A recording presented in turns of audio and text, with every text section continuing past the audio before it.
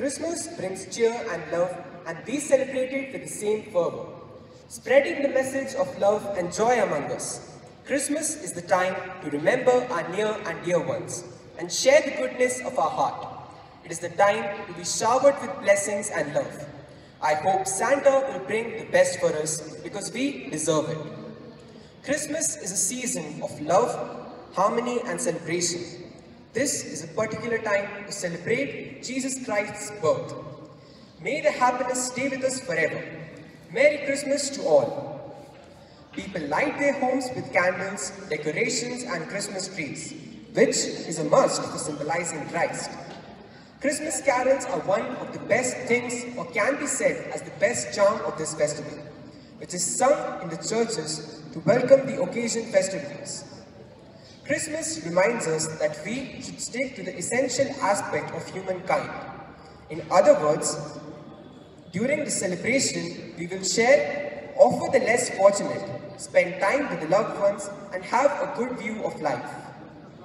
As we celebrate the feast of nativity of our Lord, remember how God first gave a home to the marginalized by being born in a stable. As we recreate the stable, let us take part in providing a roof for those in need in this pandemic. So this Christmas, let us be mindful of those who are in need of our welcome, a family member, a friend, or a neighbor. Let us make room for, in our heart for forgiveness and love and reach out to those who are asking for them. With great joy, let us welcome Jesus into our lives, hearts, homes, and invite Him to be a part of every moment of our life. To be, with, to be with everyone and allow Him to continue to reveal to us the good news that He constantly brings to us. Thank you, Sean, for the wonderful introduction. The spirit of Christmas is indeed everywhere. Let's take the momentum of Christmas spirit a bit further and experience the journey of the birth of Jesus through the scene of nativity enacted by our own Paulians. Angel went to her and said, Greetings, you who are highly favored, the Lord is with you. The obedient servant of the Lord she was, the especially chosen and favored of the Most High. The angel then assured her that she had found favor with God and would become the mother of a son whose name she should call Jesus, the Son of the Highest, one in nature and perfection with the Lord God. Joseph, a carpenter by profession, was engaged to Mary. The angel of the Lord appeared to him in a dream and asked him to take Mary as his wife. Joseph awoke from his dream and did as the angel of the Lord commanded him. Joseph and Mary traveled for miles from Nazareth to Bethlehem. They could not find a room for themselves and had to settle for the most primitive of accommodation a stable, an open stall for animals.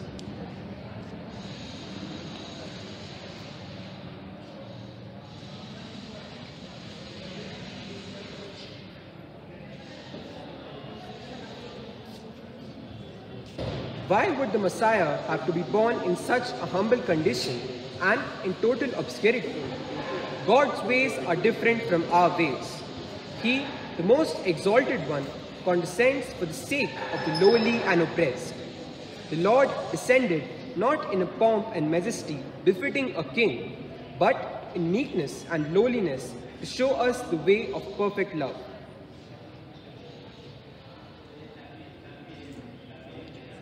Glory to God in the highest, and on earth peace, goodwill towards humankind. The greatest announcement of the birth of Jesus Christ was first announced to the lowly shepherds. Why shepherds? They were out in the fields with their flocks, and then suddenly the angel of heaven appeared to announce the good news. They did as they were told and found the baby laying in the manger.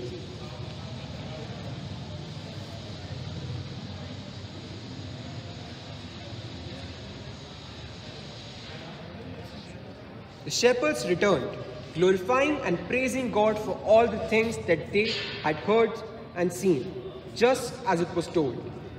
They were the ordinary shepherds on an ordinary night with an ordinary job. Yet they received the greatest news about the Savior who came in this world for you and me. Far away from the city of Jerusalem, there lived a mysterious tribe of people called the Magi. They were filled with wisdom and understanding, and they were respected by the kings and intelligent people. These three men saw an unusually bright star, then than they have ever seen. They were amazed at what they saw and were convinced that it was a sign that a great king was born. And going into the house, they saw the child with Mary. They fell down and worshipped him. Then, opening their treasure bags, they presented to him gifts of gold, frankincense, and myrrh. The wise men, in all their wisdom, identified the infant Jesus as the Savior of the world.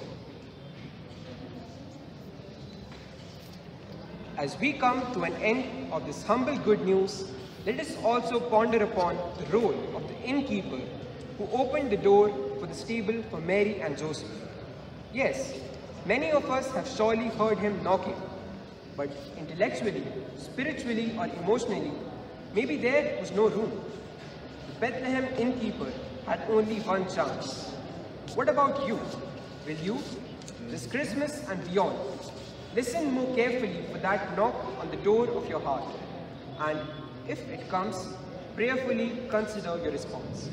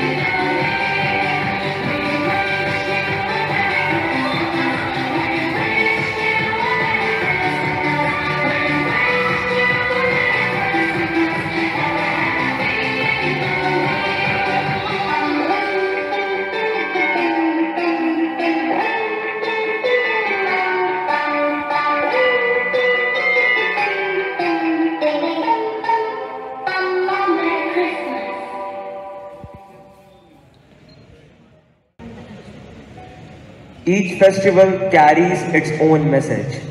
It's the essence of a festival which deepens our faith, makes us humble to make this world a better place to coexist. after all the fun and frolic, let's introspect and imbibe the true meaning of Christmas.